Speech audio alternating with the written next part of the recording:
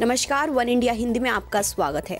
दिवंगत अभिनेता सुशांत सिंह राजपूत की मौत के बाद से एनसीबी ने अपना सख्त रुख अपना रखा है। ड्रग्स को लेकर कई फ़िल्म सितारों के घर पर छापेमारी कर चुकी है।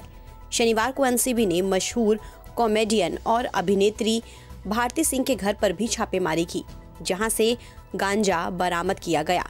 फ़िलहाल, भारती सिंह को गिरफ़्तार कर लिया गया है। उनके पति से पूछताछ जारी है। भारती सिंह छोटे पर्दे की मशहूर कॉमेडियन हैं। उन्हें अपनी ज़िंदगी में काफ़ी मुश्किलों का सामना करना पड़ा है। छोटी उम्र में ही उनके पिता का निधन हो गया था। इसके बाद उन्होंने अपनी माँ के साथ काफ़ी लंबा संघर्ष किया था। भारती सिंह के पंजाब से मुंबई पहुँचने के पीछे उनकी कई सालों की मेहनत थी। भारती सिंह ने एक अखबार से बात करते हुए बताया था कि जब उन्हें लाफ्टर चैलेंज के लिए चुना गया था तो लोगों ने बातें बनाना शुरू कर दिया था। उनकी माँ से लोग कहते थे कि अगर इसको मुंबई लेकर जाओगी तो इसकी शादी नहीं हो पाएगी। लोगों की बातों से भारती की माँ की हिम्मत नहीं टूटी। माँ ने कहा, मैं अपनी बेटी को एक बार तो ज़रूर मुंबई लेकर जाऊँगी, क्योंकि मैं नहीं चाहती कि इसके मन में कहीं ये बात रह जाए कि एक मौका मिला था, लेकिन मेरी मम्मी मुझे लेकर नहीं गई।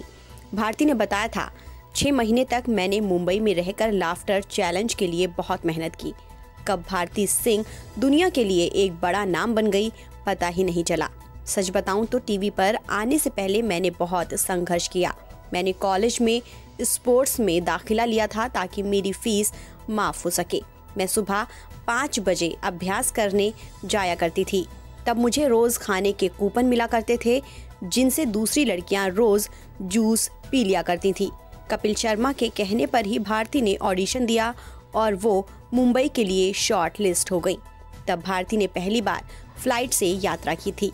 लाफ्टर चैलेंज के बाद भारती सिंह की किस्मत खुल गई और वो आज एक अच्छे मुकाम पर हैं। फ़िलहाल इस खबर में इतना ही। देश और दुनिया की तमाम खबरों के लिए आप बने रहिए वन इंडिया हिंदी के साथ।